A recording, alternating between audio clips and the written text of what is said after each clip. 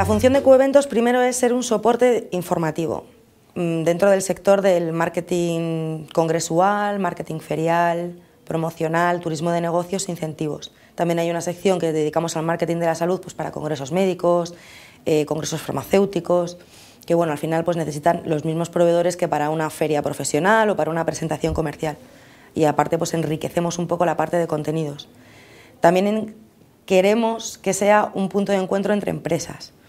que lo conseguimos a través de newsletters que mandamos quincenales porque no queremos machacar a,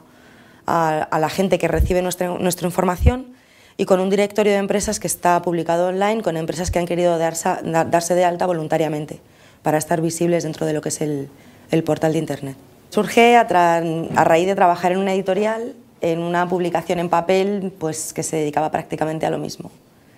Eh, terminé ese trabajo y, y, entonces no sabía, no sabía qué camino seguir y dije, bueno, vamos a intentarlo porque es el momento no tengo trabajo, empecé capitalizando el paro para hacer la primera inversión inicial y a partir de ahí pues fue cuando empecé a mover el proyecto. Lo primero que hice fue mm, de información boca a boca, vaya, pues de gente que, pues que ha tenido también algún tipo de motivación de montar alguna empresa y me, me iban indicando cuáles eran las fuentes de información iniciales para poder recopilar un poco de, de información, porque bueno, yo estudié ciencias químicas, eh, no, había, no he tenido una empresa nunca y entonces no sabía cuáles eran los trámites a seguir. Tengo un despacho alquilado y entonces pues intenté ver del, del, paro que tenía cuando iba a la oficina de, a la oficina de empleo para que me informaran sobre cómo podía hacer el trámite para, para, la capitalización, pues me indicaron pues, que tenía que justificar esa inversión inicial en función de la actividad que se fuese a ejercer. Entonces, pues bueno, con ese dinero pues tenía para la infraestructura básica inicial.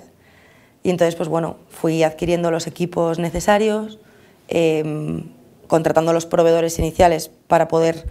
em, crear el, portal y bueno, pues luego pues asumiendo que iba a tener costes pues de alquiler de despachos, gastos de teléfono y de transporte. Y así empecé, básicamente. El perfil de los clientes pues son agencias de organización de eventos, mayoritariamente, proveedores para estas agencias de organización de eventos, como pueda ser una finca, una, empresa de animación, una compañía de teatro que tematice sus funciones para un cliente, por ejemplo, corporativo. Em, empresas que se dediquen pues, a regalo promocional, a merchandising.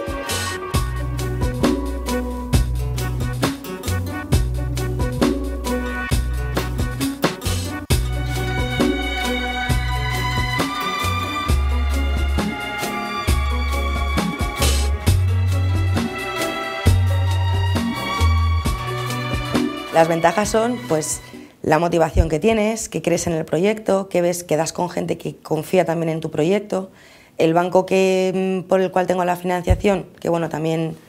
la financiación la tengo avalada a través de Aval Madrid. Y el banco pues mm, cuando le comenté el proyecto que tenía en mente mm, le gustó mucho, confiaba en mi saber hacer. Y, y, entonces, y los inconvenientes eran que en todos los planes de empresa que me que, me, que tenía que redactar para justificar la evolución que iba a tener el proyecto, pues te dicen ingresos anuales, no sabes. Puedes mm, tener un servicio que de repente es algo que es muy llamativo para la gente y hay veces pues que cuesta más porque empiezas desde cero y tienes que ir generando confianza entre la gente que luego tiene que invertir en tu medio para poder ejercer, pues eso, medios de, para poder ejercer como medio de comunicación que subsiste a través de la publicidad. La respuesta del sector es que les encanta recibir los contenidos, pero dado el tiempo que estamos atravesando, pues son bastante reacios a invertir en un medio nuevo. Es decir,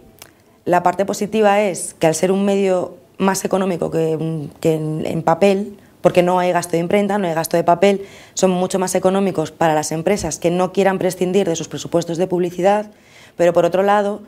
hay medios que son también en Internet,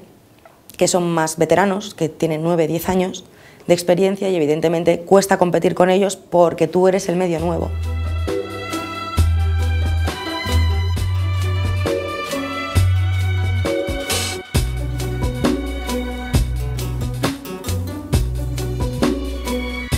Empecé en mayo del 2007, pero empecé a darme a conocer en octubre del 2007. He incrementado la base de datos de gente que quiere recibir información en más del doble de cuando empezamos. Empezamos con 5.000 destinatarios y ahora mismo contamos con alrededor de 10.400. Em, hay más suscripciones a los boletines de noticias, hay más inscritos en el directorio de proveedores. Entonces dices, bueno, es un sacrificio porque sacrificas muchas cosas, pero luego eso te compensa después. Ver que realmente estás haciendo algo para lo que realmente querías hacer, vaya, que, es la finalidad que tiene el portal, que empresas encuentren empresas. Esto consiste en eh, tener contactos en agencias de comunicación, ellos tienen sus clientes, esos clientes la mayoría de las veces son también clientes potenciales para, para un medio de comunicación, se quieren dar a conocer Portugal, Irlanda, se quieren dar a conocer en el mercado español y utilizan medios, convocan a medios de comunicación españoles dentro de ese sector, que es turismo de negocios o de incentivos, para que luego haya una, conexión entre esas empresas, sobre todo las extranjeras. Em, acudir a ferias profesionales, acudir a encuentros de networking que organicen a lo mejor empresas que no tienen nada que ver con lo que es la actividad propia de Cueventos, es decir, expandirte de tal forma que no solamente te centres en, en empresas que puedan ser clientes potenciales para nuestro sector, sino que sean posibles interesados en contratar a alguno de nuestros clientes en algún momento. Las tarifas son mm, pues por no decir las más económicas,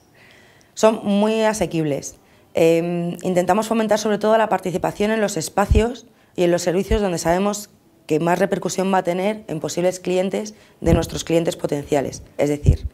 el directorio de proveedores, las noticias que mandamos a través de las newsletters y las publicidades que se, que se, que se presentan junto con los contenidos. Las tarifas, pues Intentamos hacer packs que sean bastante presenciales, es decir, que aparezcan tanto en la newsletter como luego en el portal y que aparezcan también, fomentar la participación en el directorio de proveedores. Las tarifas lo, intentamos englobar en packs para que sean más económicos y sacamos promociones periódicamente. Nos interesa sobre todo, como medio de comunicación que nos consideramos, pues queremos participar en, en que si hay una feria profesional que le puede interesar a alguien y que no sabe que esa feria existe, participar nosotros de comunicar a esa persona que pueda acudir a ese, evento porque va a encontrar probablemente un proveedor que necesite o, o hacer nuevos clientes o colaboraciones.